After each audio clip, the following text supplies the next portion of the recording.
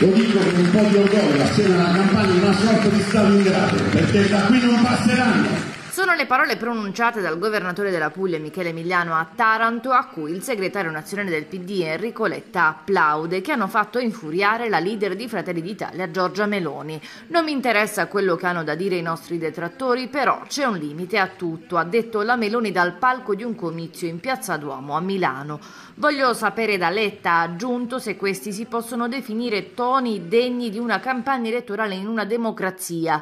Immediata la difesa anche del coordinatore regionale del partito Marcello Gemmato e dell'eurodeputato Raffaele Fitto. Sputare sangue è un'espressione violenta e minacciosa che specialmente in politica non dovrebbe mai essere utilizzata. Da pugliesi non ci meravigliamo che queste parole le abbia utilizzate proprio Michele Emiliano che ci ha abituati al suo linguaggio volgare e poco rispettoso, soprattutto nei confronti degli avversari. Quello che ci meraviglia è che il segretario del PD Enrico Letta, invece che prendere subito le distanze da Emiliano al termine del suo intervento, lo abbia addirittura addirittura abbracciato. Infine la stoccata di Fitto e Gemmato. Se queste parole fossero state pronunciate da Giorgia Meloni, siamo certi che avremmo ascoltato un fiume di reazioni indignate con tantissimi commenti che avrebbero fatto riferimento all'immancabile linguaggio e comportamento fascista.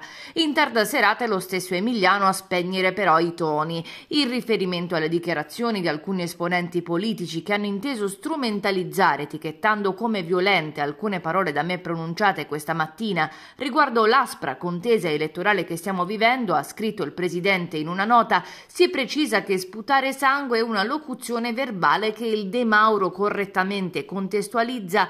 In impegnarsi a faticarsi molto in qualcosa, esattamente ciò che la destra in Puglia da diversi anni prova a fare per vincere le elezioni, finora senza riuscirci né per le amministrative né per le regionali.